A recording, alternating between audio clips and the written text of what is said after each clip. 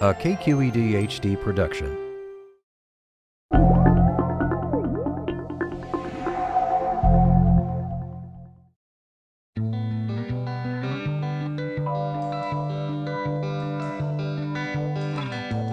I'm Steve Palumbi. I'm a marine biologist at the Hopkins Marine Station, which is part of Stanford University.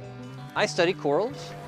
Coral reefs hold about 25% of the known marine species. They're doing things for us, making oxygen, protecting shorelines from waves. And my work on corals started out with a mystery.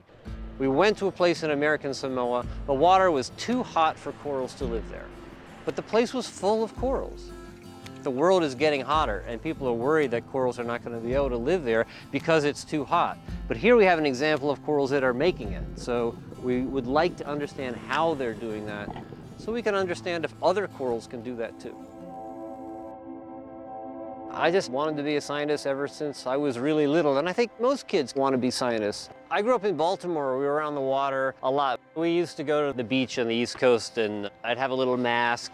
And I remember I jumped into a school of dogfish, little sharks about, about this big, and I just freaked out. I was not much bigger than that, right? I popped back up. It was like, ah, ah, ah.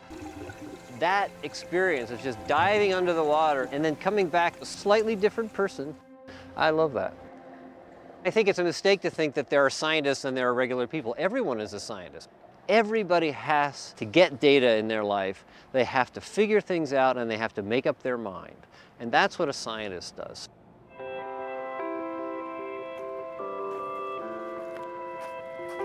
What I love most about being a scientist is discovering things, finding out something that, that nobody knows, some new fact, some brand new thing, and then, and then telling people about it in a way that maybe makes them care a little bit about it as well.